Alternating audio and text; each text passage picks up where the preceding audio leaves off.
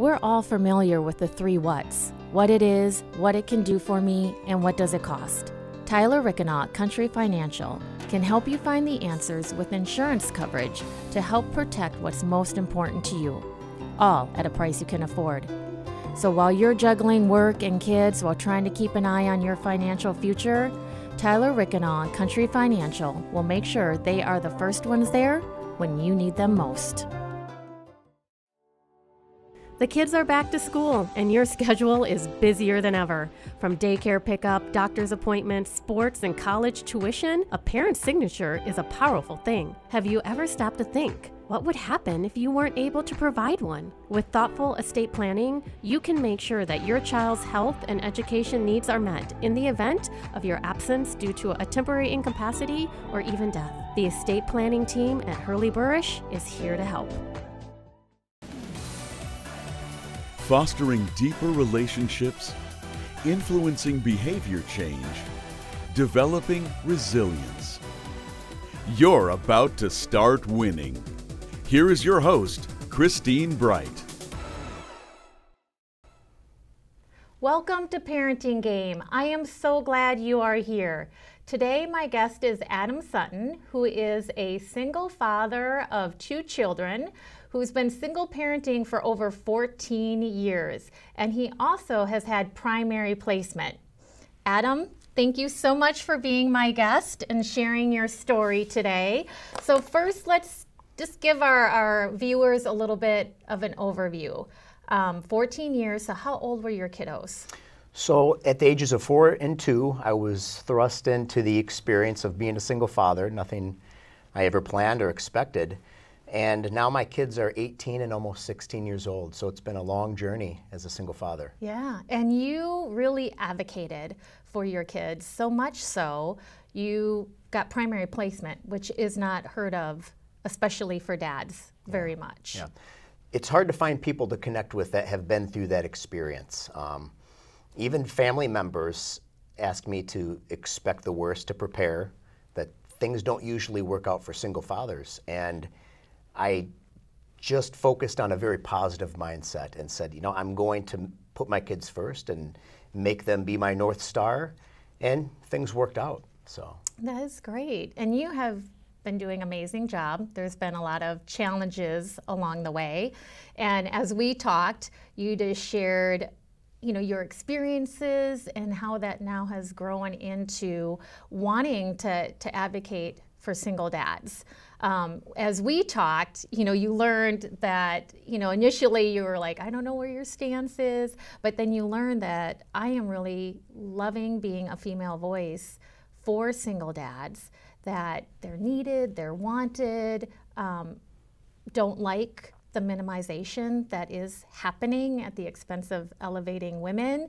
And I could just feel this sigh of relief in you after I, I shared that, mm-hmm. and we had an amazing conversation. And that's when I said, "You need to come and share." You know your story and what your passion is, and we talked a lot about a lot of stuff. Um, can't get into it all today, but we're we're going to do our best. But before we dig in, got a little fun thing for you to try. Are you a candle guy? I've been known to dabble. so we have a great shop here in Sun Prairie called the Budding Butterfly. And they, I was, I was just in there and talking about candles and scents, and I had this great idea for us to kind of do a little challenge of like smelling some of their amazing candles and seeing if we can figure out what's in it. Great. So this is our first one. It's called Energy, and I like that one. Ooh, I like that one. Okay, so now Ooh. so now we got to put our hats on. So there's specific scents in there. It's made with essential oils and soy, tree, and, and plants, all natural type stuff. I think I'm getting basil, maybe. Okay. Any any anything coming to uh, mind there, for you? There's definitely some type of mint or spearmint. Okay, I, let's, let's see what's in this. It is jasmine, orange, looks like sandalwood, and yang. But sandalwood is in the mint family.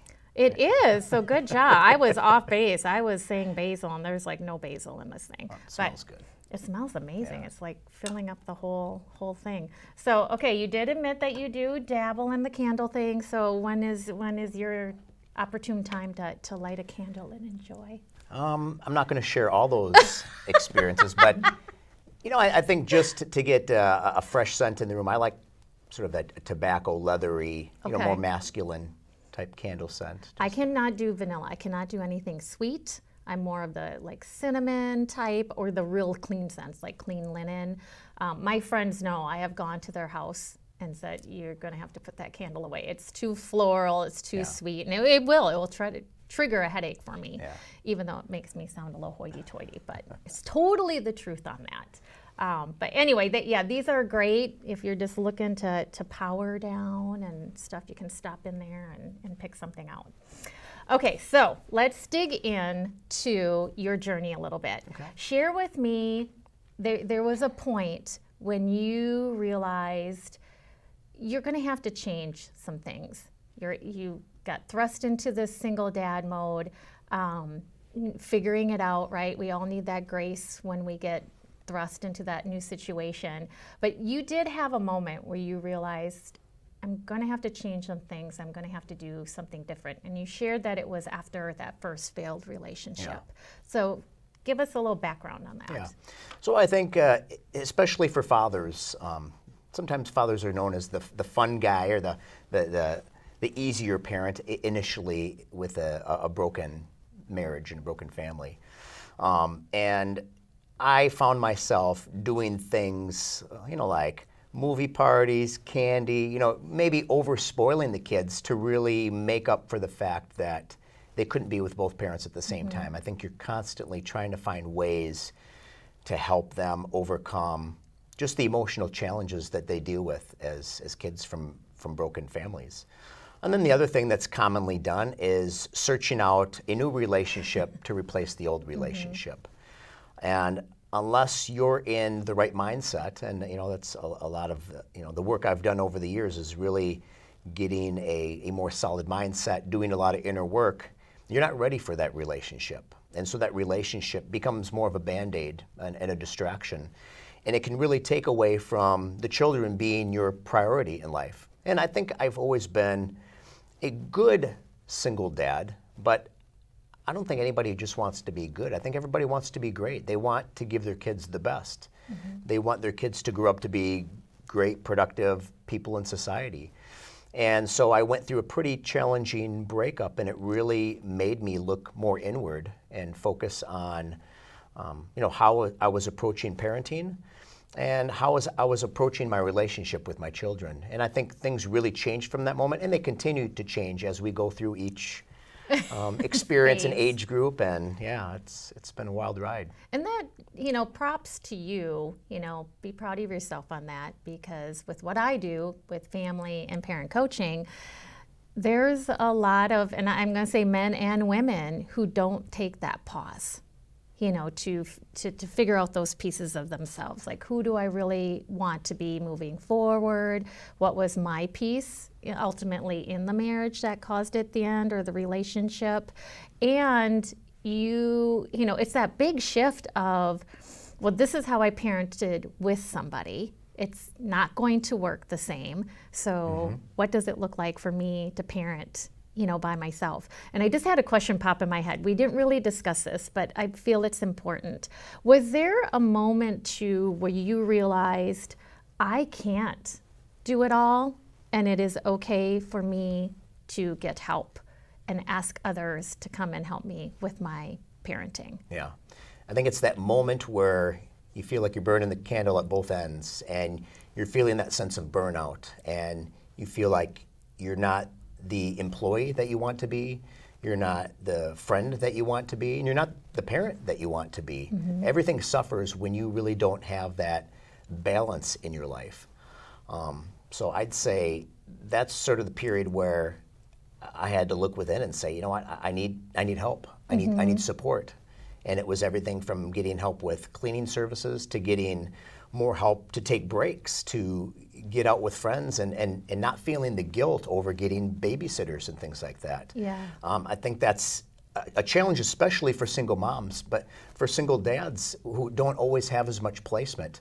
Um, there is that that pressure to be everything and, and, and everything to your, your children and to really be there in every waking moment.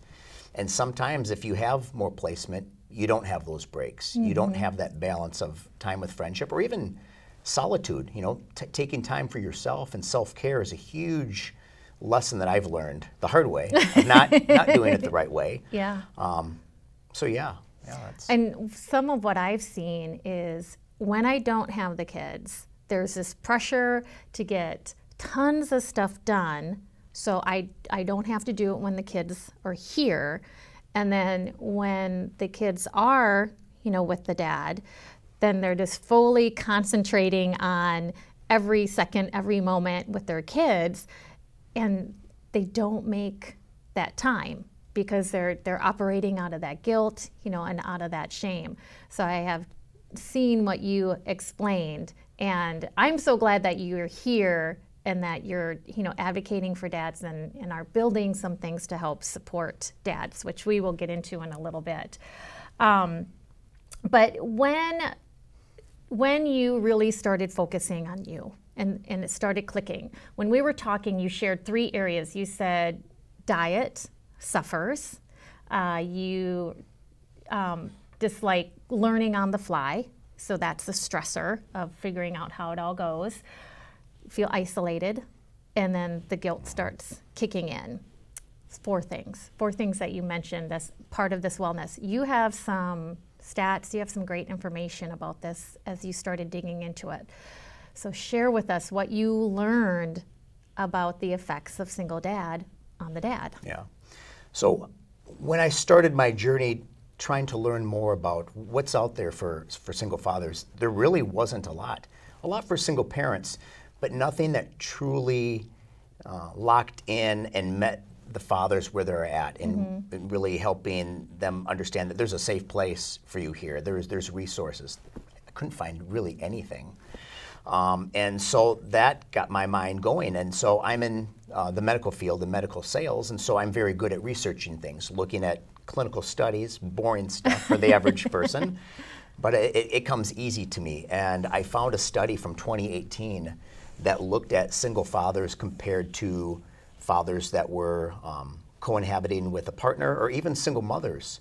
And I was shocked to find out that the mortality rate for single fathers was three times higher than that of both single mothers and even fathers that lived with a family in a household. And I was shocked. And I, I thought, why, why isn't anybody doing anything? This is an epidemic.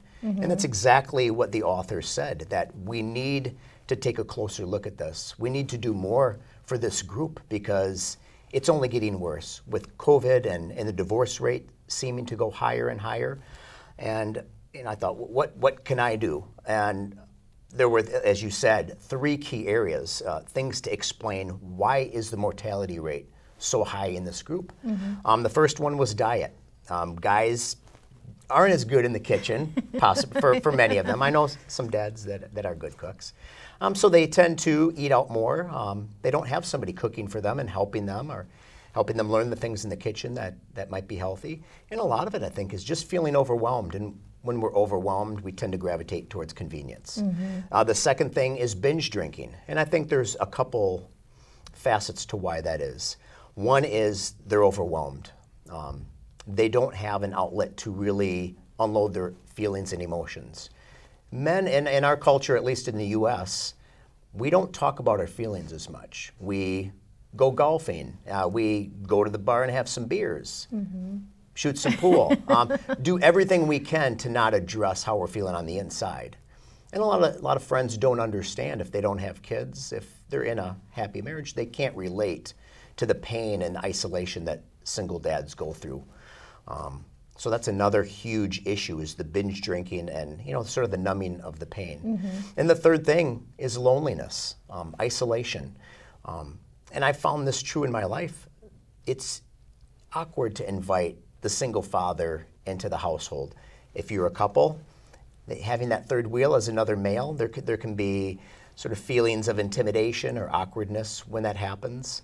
Um, and that was one of the major things that the, the study identified was that single dads are not incorporated into society the same way as other parents or even other single mothers who have different types of friendships and different cultural norms in terms of how they connect with other women. Mm-hmm. And so those three things um, got, got the wheels turning and made me think if there's nothing out there, why don't we create something um, to help these single fathers, um, to help them have a safe place to you know, unload their feelings and, and not feel isolated. Mm-hmm. To understand there's a lot of single dads, and unfortunately, it's just getting worse. Yeah. So, share with me a little bit too about some of the guilt points that you had as a single father. When, when would that guilt kick in? Yeah. You know, early on, I remember the exchanges and the children crying of being taken away from their mother.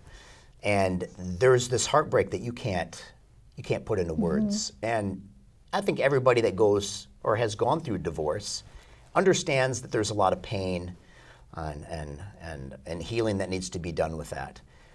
But when you're dealing with your children's pain on top of yours, sometimes it's too much. And what I learned through the process was that you can't take that pain away. I don't think it ever completely subsides for your children, but you can do things to help heal that. Um, you know, we don't have time to get into all those things today, but you know, we're going to get into yeah, some of okay, them. But okay. yeah, yeah, we'll make some time to get yeah. into some of that because that was such a powerful point when we were talking, and I wanted to make sure that to touch on that piece because, you know, we as parents, out of the just the goodness of our hearts, we want to to make our children feel better, and then oftentimes what we end up doing is teaching them to stifle their emotions or like don't feel that way you know but i do you know and what i'm really excited about about what you're going to be bringing to single dads is being for one for dads to be able to talk about those emotions and that they're all okay and then that's going to trickle down into them being able to do that with their kids mm-hmm. when those emotions come and they're okay and and i can handle that you're sharing those emotions with me um, so you talked about we also talked about the mental health piece you know, with dads, and also, you know, that de- detriment to kids. As much as we, you know, don't like to look at it, we don't like to admit it, it's the trauma, and it does. Mm-hmm. Speak into that a little bit about the mental health piece. Yeah. Single dad first, and then a little bit of what you've seen with the kiddos. Yeah. So obviously, the, the, the, key to any solution starts with yourself. You can't help others if you can't help yourself and I've seen that in, with so many single fathers. Uh, I've been very, very blessed to have a lot of single dads come into my life that are, are just starting that road and trying to help guide them on uh, a straighter path and mm-hmm. to not make the same mistakes that, that I made. Um, and that's that's a huge challenge uh, to, to, come across.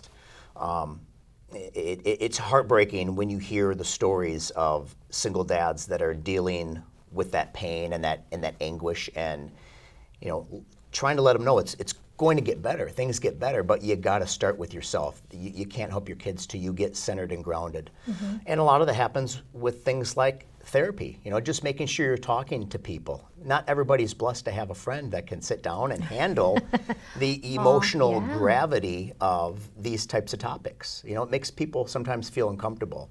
So getting a good therapist and making sure that you're, um, you know, unloading these emotions and, and also just understanding that it's okay to feel overwhelmed. It's okay to have these feelings, but you can't stay stuck there, right? You, you got to take care of yourself and push through that, not just for your own sake, but for your kids.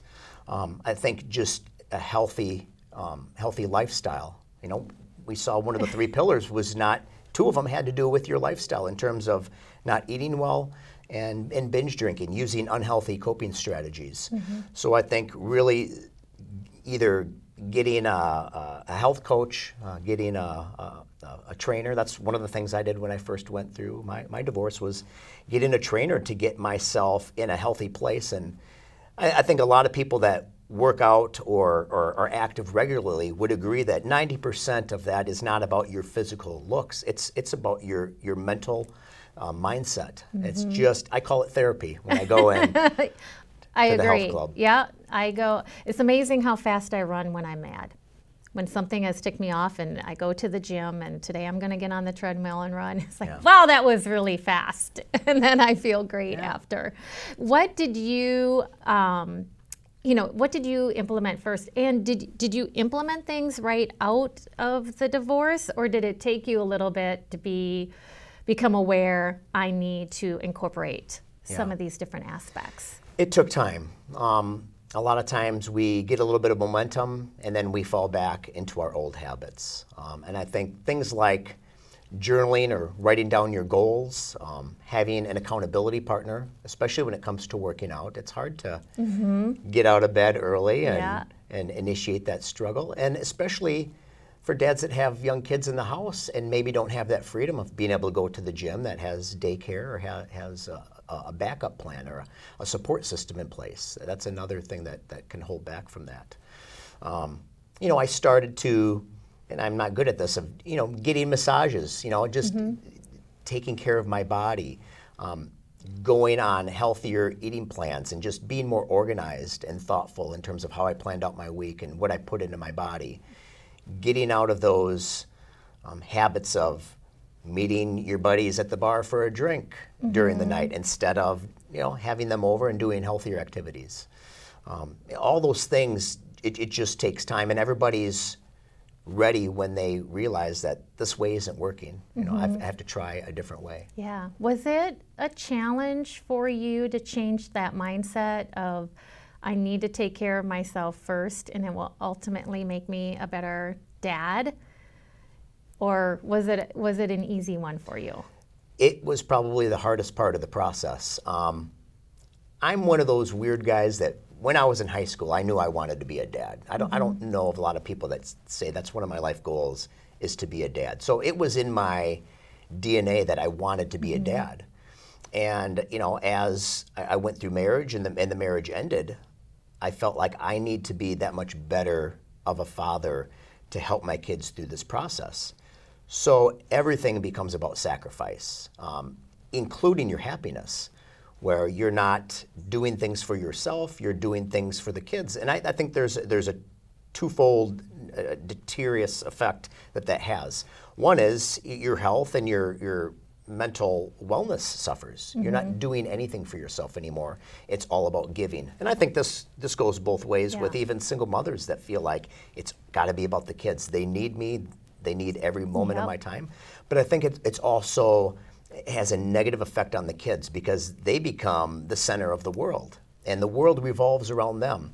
And that's not a healthy thing for them either. They need mm-hmm. to see that their parent is taking care of themselves, that they're doing positive, healthy things, that it's okay to take care of your mental health and your physical health and to take care of the household. Those are all things that are essential in order to make a family work at an efficient level. So, And I love that you you bring that piece up.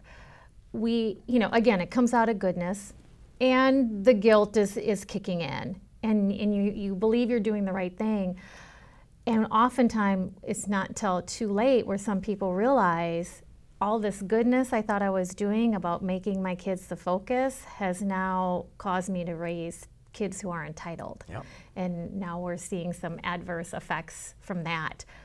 Very i appreciate you bringing that out. And also sh- you know showing and saying hey i put these things in place and it didn't have a negative effect on my kids my kids didn't feel like they're lacking if anything it, it made me better and able to stay in some of those fights that, that Yeah. you need to stay in along the way which that's the other thing you know there's so much that comes along if you don't take the time to get yourself mentally healthy, I mean, you're you're just going to go down, down, down. Whereas if you're mentally healthy and, and those hard times come, you're you're in a much better position to handle those a lot better. So so glad that you're talking about that. Um, we we're getting to the end of our time. I knew this would go quick. You had three statements that you made when we were talking on the phone that I want to make sure that we touch on because each one of them was so powerful. And you said this line keep your kids the North Star. Just briefly share what that looked like for you when you were keeping your kids the North Star. Yeah. I think that started um, right during the separation and the, the marriage was coming to an end. And I had no idea what my life was going to look like, um, where I was going to live, where the children were going to live. And I don't think there's anything worse during that process than the uncertainty. You know, just this anxiety builds and grows within you. And I made a commitment to put the children first with every decision I made. And I, I said, you know what? I have faith that things will work out if I do that. And a year later, I remember being on a phone call with a judge and finding out that I would I was going to get primary placement of my children. I mean, one of the most exhilarating days of my whole life. Yeah. Yeah, and with that, keeping your kids the Northern Star, you soon realized part of that is if I'm healthy, then that's good for my kids too. So It's, this one of those things I know you're passionate about, and I'm excited for you to really start, you know, sharing with single dads, and we'll get into a little bit more on how you're going to do that. Um, give yourself grace. That was pretty simple, but that took you time Yeah. to get to that point where you could give yourself grace and not being able to do everything. So important. And the last one is, and I love this. Um, you can't you can't be perfect enough to make the pain go away, but you can help heal the pain. When did that light bulb go off for you? even though I I know that in my heart, it's it's a daily struggle. Uh, there's a voice in your head that says you can do more, you can be more, and especially when you're hearing outside voices, right? Um, there's outside voices of people from your past that no, you're no longer married to that maybe are telling you something. And I think as your kids pain manifests, they say things that start to make you doubt mm-hmm. yourself. And again, g- getting back to taking care of yourself. That's why you need to stay centered and calm. You can't meet the kids where they're at when they're elevated. Yeah. It's it's one of the worst things you can do. It, it for one, it teaches them that it's okay to lose your cool and uh-huh. to not emotionally regulate. And and number two, it's it's it's not good for you. Um, it's making you more anxious. It's making you lose control, mm-hmm. And we don't make the best decisions when we're not regulated. Yeah. Um, and there's there's a lot of things you can do to help with that. But Yeah, and you end up undermining yourself, your authority as a parent. I, I tell them all the time, you know, this, the yelling is actually you're undermining yourself. If you can get the point across calm, now you're influencing. And I know you have really worked hard on that and are a great dad. You are just really growing this business to be a single dad advocate. And I would like you to share your website. So, what is the address for your website? So it's evolvewithac.com. Okay. And you are you you got a lot of stuff going into place. Support group, um, individual coaching, so they can. And you're just open to hey, email me if you're looking support, and I can help you get connected to support. So I know we will be seeing a lot of dads connect to you. Thank you so much for your time and being vulnerable enough to share your story. I really appreciate it. Thanks, Christine. Thank you for tuning into the parenting game, and I am wishing you a great day. We're all familiar with the three whats what it is, what it can do for me, and what does it cost. Tyler Rickenaut, Country Financial, can help you find the answers with insurance coverage to help protect what's most important to you, all at a price you can afford. So while you're juggling work and kids while trying to keep an eye on your financial future, Tyler Rickenaut, Country Financial, will make sure they are the first ones there when you need them most. The kids are back to school, and your schedule is busier than ever. From daycare pickup, doctor's appointments, sports, and college tuition, a parent's signature is a powerful thing. Have you ever stopped to think? What would happen if you weren't able to provide one? With thoughtful estate planning, you can make sure that your child's health and education needs are met in the event of your absence due to a temporary incapacity or even death. The estate planning team at Hurley Burish is here to help. Thank you for watching The Parenting Game. All episodes of The Parenting Game are available on demand at sunprairiemediacenter.com.